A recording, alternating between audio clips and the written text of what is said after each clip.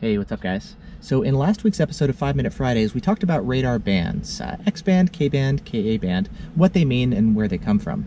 In this video, we're going to go into more information about not just the bands of the different radar guns, but actually even the exact frequencies that the radar guns are transmitting on and how we as drivers can use that information to benefit us. Uh, so to start off, let's talk about which frequencies radar guns actually use in the first place. Uh, well, here in the US, uh, the FCC allows on Ka-band radar gun manufacturers to use any frequency from 33.4 4 to 36.0 gigahertz, uh, 2600 megahertz wide. However, uh, there's four radar gun manufacturers, um, and they use three different kind of small frequency ranges within all of Ka band that's allowed. Uh, we have MPH, which uses 33.8 plus minus 100 megahertz. We have Stalker, which uses 34.7, and then we have Decatur and Kustom, which use 35.5. Again, plus minus 100 megahertz. So kind of smaller ranges within all of Ka band. Uh, K band is a little bit different. Radar guns are tuned to uh, operate at 24.125 or 24.150, again, plus minus 100 megahertz. So you have a little range as the radar gun's frequency can and will vary a little bit. Um, in Europe, they have uh, different frequencies like KU band may be used there.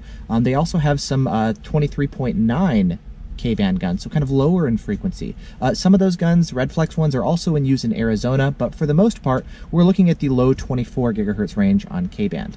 Now, with that said, so what? Who cares? How does that benefit us, right? Well, there's a couple cool things that we can derive from that information. For example, uh, here in Seattle, uh, the Washington State Patrol, uh, who usually monitors the highways, they have MPH guns that transmit on 33.8, uh, whereas a lot of the local city police, they use guns that transmit on 34.7 and 35.5. That can be really useful for me because if I'm on the highway and I see 33.8, that tells me there's an officer most likely up ahead or back behind. If I'm on city streets and I see 33.8, that tells me he's on the highway, and if I'm about to pull on the highway, I know he's on the highway before I even get on there.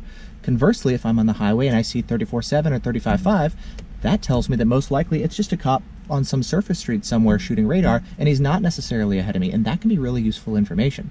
Now, radar detectors also offer the frequency display typically up to about three decimal places or so to give us the exact frequency of the radar gun. Radar detectors are not super precise spectrum analyzers or anything, you know, um, and the frequency may even vary a little bit. It'll fluctuate as it's picking up a signal, and maybe from one detector to another, it will vary a little bit as well. Nevertheless, it can be very useful information.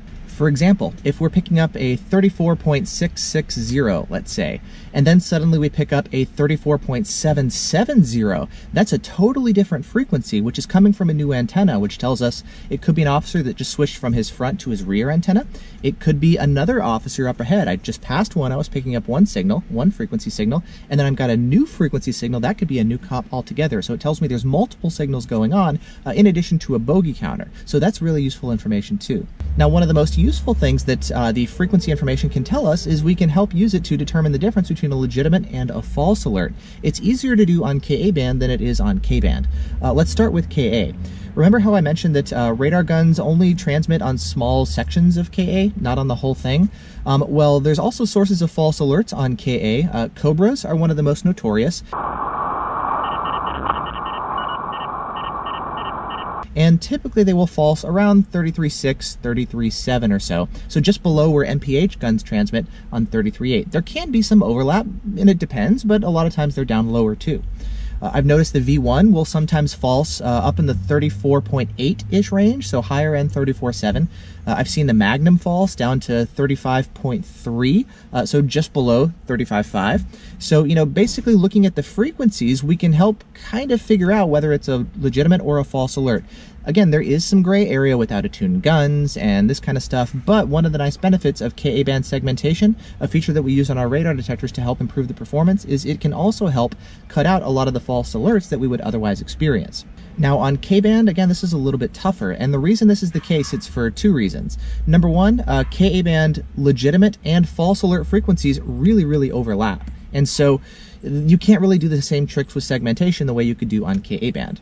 Additionally, there's just more false alerts on K-band, as you guys have probably noticed, than there are on Ka-band. And so we've got more noise and they overlap a lot more. Nevertheless, there are some cool things that we can use to tell the difference. For example, uh, Honda and Acura BSMs are usually around 24.198, 24.200, kind of that range. So if you see that frequency, chances are, just take a look and see if there's a Honda up ahead of you. A police officer could be transmitting in that range too, so it's not a foolproof solution, but it is kind of a, a cool thing to look for and just kind of like the initial reaction that you'll get.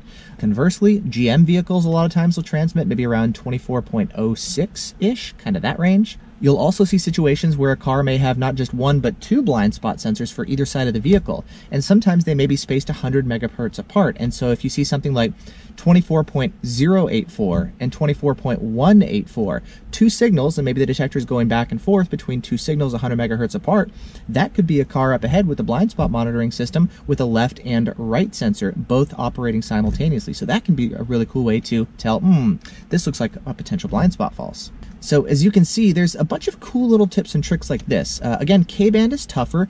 Uh, you could try to say, okay, what are all the frequencies on K-band where the BSMs will exist? Again, they can be all over the place, just like legitimate police radar guns, so it's not a really great solution, but there are a few tricks that you can use. And I guess just to finish this off, I'm also curious to hear from you guys, uh, what are some tricks that you guys use to uh, you know, in ways the frequency of the radar gun can actually be used to provide beneficial information to us as drivers. So let me know down in the comment area as far as what additional tricks you guys have. Other than that, thanks for watching. I hope you guys have found this helpful. Uh, and I will see you guys in next week's episode of 5 Minute Fridays. Take care.